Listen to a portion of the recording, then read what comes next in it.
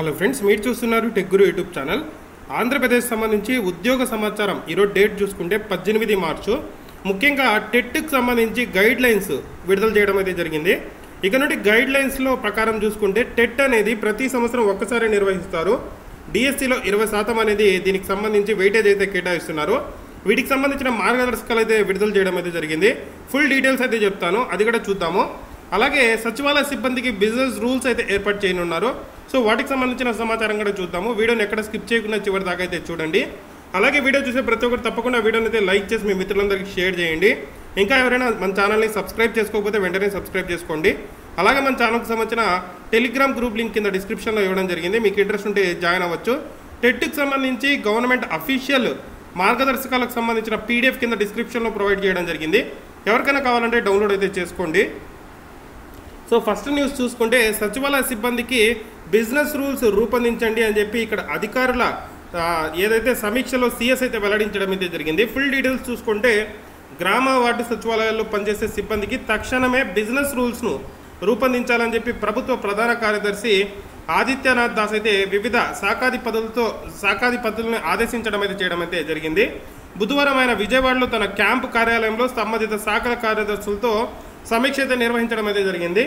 ఆ సమీక్షలో చూసుకుంటే సచివాలయాల్లో పనిచేస్తున్న వివిధ కేటగిరీల సిబ్బందికి సంబంధించి సర్వీస్ నిబంధనలను డెలిగేషన్ ఆఫ్ పవర్స్ను అంటే వాళ్ళ పవర్స్ ఏంటి వాటి వాళ్ళకి సంబంధించిన సర్వీస్ నిబంధనలు ఏంటి అలాగే బయోమెట్రిక్ హాజరుకు సంబంధించి అలాగే జాబ్ చార్ట్ను రూపొందించాలని చెప్పి సిఎస్ అయితే ఆదేశించడం అయితే జరిగింది. సో ఈ ఉద్యోగాలు ప్రొఫెషన్ అయితే కంప్లీట్ అవ్వబోతుంది. త్వరలోనే మీ అందరికీ తెలిసిందే. సో ఇవన్నీ పర్మనెంట్ ఉద్యోగాలు కాబట్టి వాళ్ళకి సంబంధించి ఉద్యోగాలకు సంబంధించి డెలిగేషన్ ఆఫ్ పవర్స్ అలాగే వాటికి సంబంధించిన సర్వీస్ నిబంధనలు బయోమెట్రిక్ హాజరు ఏప్రిల్ నుండి తప్పనిసరి కాబట్టి వాటికి సంబంధించిన ఇక్కడ యాప్ ఒక్కోసారి అయితే పనిచేస్తూ ఉండదు. సో వాటికి సంబంధించి అన్నీ ఇక్కడ చూడాలని చెప్పి ఆయన ఆదేశించడం అయితే జరిగింది. అన్ని శాఖ అధికారులతో ఇక్కడ ఆయన మీటింగ్ అయితే పెట్టుకోవడం అయితే జరిగింది నిన్న. సో వాటికి సంబంధించి సచివాలయ సిబ్బందికి బిజినెస్ రూల్స్ అయితే రూపొందించండి అని చెప్పి కూడా ఆదేశించడం అయితే జరిగింది. ఇది సచివాలయకు సంబంధించిన ఇన్ఫర్మేషన్ అయితే. ఇక టెట్ గురించి చూసుకుంటే ఇకపై ఏడాదికి ఒక్కసారి టెట్ అయితే నిర్వహిస్తారు. ప్రత్యేక విద్యా అభ్యర్థులు కొత్తగా అయితే పరీక్షలు నిర్వహిస్తారు. జూలైలో ఇక్కడ టెట్ ఎగ్జామ్ అయితే నిర్వహించనున్నారు. నెక్స్ట్ మేలో చూసుకుంటే నోటిఫికేషన్ అయితే విడుదల చేయనున్నారు. సో ఫుల్ డీటెయిల్స్ చూసుకుంటే ఉపాధ్యాయ అర్హత పరీక్ష ఇకపై ఏడాదికి ఒక్కసారి నిర్వహించనున్నారు.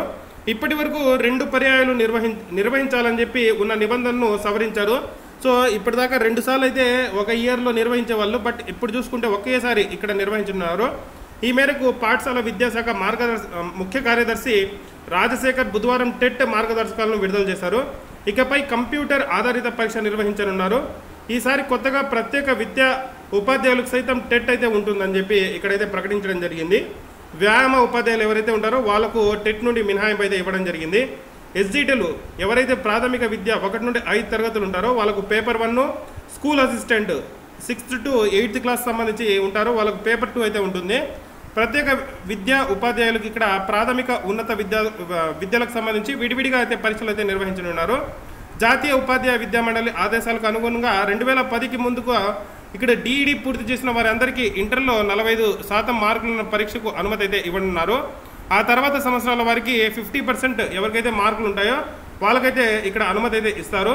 రెండు వేల పదకొండు జూలై ఇరవై తొమ్మిదికి ముందు బీఈడీలో ప్రవేశాలు పొందిన వారికి డిగ్రీలో ఎలాంటి అర్హత మార్కులు అవసరమైతే లేదు. డిఎడ్ బీఎడ్కి సంబంధించి చివరి ఏడాది చదివే వారు కూడా ఈసారి పెట్టే టెట్కు అర్హులే అని చెప్పి క్లియర్గా మనకు మార్గదర్శకాల్లో అయితే తెలుస్తుంది. నెక్స్ట్ ఎస్సీ ఎస్టీ బీసీ దివ్యాంగులు రెండు వేల పదికి ముందు డిఈడిలో ఉత్తీర్ణులై ఉంటే ఇంటర్లో నలభై శాతం మార్కులు ఆ తర్వాత వారికి నలభై ఐదు శాతం మార్కులు అయితే ఉండాలి. అన్ని ప్రశ్నలు ఇక్కడ అన్ని ప్రశ్నలు చూసుకుంటే బహుళైచ్ఛిక విధానంలో ఉంటాయి. నూట యాభై ప్రశ్నలకు నూట యాభై మార్కులు అయితే ఉంటాయి. అంటే మొత్తం కూడా మ్యాథ్స్ ద ఫాలోయింగ్ విధానంలో అయితే ఉంటాయి. One fifty questions one fifty marks అయితే కేటాయించడం జరిగింది. నెగిటివ్ మార్కులు అయితే ఉండవు పేపర్ వన్లో గణితం ముప్పైకి పేపర్ వన్ అంటే ఇక్కడ ఫస్ట్ టు ఫిఫ్త్ క్లాస్ వాళ్ళకి పేపర్ వన్ చూసుకుంటే ప్రాథమిక విద్యకు సంబంధించి గణితం ముప్పై పర్యావరణ విద్య ముప్పై భాష వన్కి ఇక్కడ ముప్పై ఆంగ్లంకి ముప్పై విద్యార్థి ప్రగతి పెడగాజీకి ఇక్కడ ముప్పై మార్కులు అయితే ఉంటాయి. పరీక్ష సమయం రెండున్నర గంటలు అయితే ఉంటుంది. టోటల్గా వన్ ఫిఫ్టీ క్వశ్చన్స్. బీడీ వారికి ఎస్జిటి పోస్టులు అర్హత కల్పించినందున కల్పించినందున వీరికి టెట్ రెండు పేపర్లు అయితే అర్హులు. స్కూల్ అసిస్టెంట్ పరీక్షకు ఆయా సబ్జెక్టులకు సంబంధించి అరవై మార్కులు అయితే ఉంటాయి. వీరికి పర్యావరణ విద్య సబ్జెక్ట్ అనేది ఉండదు. నెక్స్ట్ ఆంగ్ల భాష పరీక్షకు సంబంధించి అభ్యర్థులందరికీ అయితే ఉంటుంది. ఇంటర్ స్థాయిలో ప్రశ్నలు అయితే ఇవ్వనున్నారు. అర్హత మార్కులు ఇలా అయితే ఉంటాయి.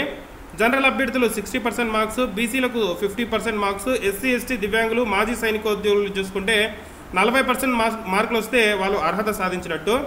టెట్ కాలపరిమితి ఏడేళ్ళ వరకు అయితే ఉంటుంది. ఓకే? ఉపాధ్యాయ నియామకాల్లో దీనికి ఇరవై శాతం వెయిటేజ్ అయితే ఇస్తారు. ఇక్కడ ఎన్సీఈటీ మార్గదర్శకాల ప్రకారం ప్రైవేట్ పాఠశాలలో పనిచేస్తున్న ఉపాధ్యాయులకు సైతం అయితే టెట్ అయితే అర్హత సాధించాల్సి ఉంటుంది. వచ్చే నెలలో ఇక్కడ మనకు టెట్ అయితే ప్రకటన అయితే ఉంటుంది. నోటిఫికేషన్ అనేది మేలో ఉంటుంది. జూలైలో వీటికి సంబంధించిన ఎగ్జామ్ అయితే కండక్ట్ చేస్తాము అని చెప్పి ఇక్కడ ఆంధ్రప్రదేశ్ విద్యాశాఖ అయితే నిన్న కొన్ని మార్గదర్శకాలు అయితే విడుదల చేయడం జరిగింది. ఎవరికైనా అఫీషియల్ మార్గదర్శకాలు కావాలి అనుకుంటే కింద డిస్క్రిప్షన్లో ప్రొవైడ్ చేయడం జరిగింది. సో కావాల్సిన వాళ్ళు అక్కడ నుండి అయితే డౌన్లోడ్ చేసుకోండి. మీకు ఏదైనా డౌట్స్ ఉంటే మాత్రం కామెంట్ అయితే చేయండి. నెక్స్ట్ న్యూస్ చూసుకుంటే సచివాలయాల్లో అర్హులకు ఉద్యోగాలు ఇవ్వాలని చెప్పి ఇక్కడ మనకు ఒక న్యూస్ అయితే నిన్న రావడం జరిగింది. వాటికి సంబంధించి ఫుల్ డీటెయిల్స్ చూసుకుంటే గ్రామ వార్డు సచివాలయ ఉద్యోగాలు భర్తీకై విడుదల చేసిన రెండవ నోటిఫికేషన్లో అర్హత సాధించిన అభ్యర్థులకు ఉద్యోగాలు ఇవ్వాలని చెప్పి సిపిఐ రాష్ట్ర కార్యదర్శి రామకృష్ణ అయితే డిమాండ్ చేయడం జరిగింది. ఈ మేరకు సీఎం జగన్కు ఆయన మంగళవారం ఆయన ఒక లేఖ అయితే రాయడం జరిగింది. రాష్ట్రంలో ప్రస్తుతం ఉన్న సచివాలయాలకు అదనంగా మరో మూడు వందల సచివాలయాలు ఏర్పాటు చేసి మరో మూడు వేల ఉద్యోగాలు కల్పిస్తామని చెప్పి ప్రభుత్వం ఆల్రెడీ ప్రకటించిందని చెప్పి గుర్తు చేశారు. రాష్ట్ర ప్రభుత్వం గ్రామ వార్డు సచివాలయ ఉద్యోగాలకు సంబంధించి భర్తీకి సంబంధించిన విడుదల చేసిన రెండవ నోటిఫికేషన్ ద్వారా రాష్ట్ర వ్యాప్తంగా దాదాపుగా పది లక్షల మందికి దరఖాస్తు అయితే చేసుకోవడం జరిగింది.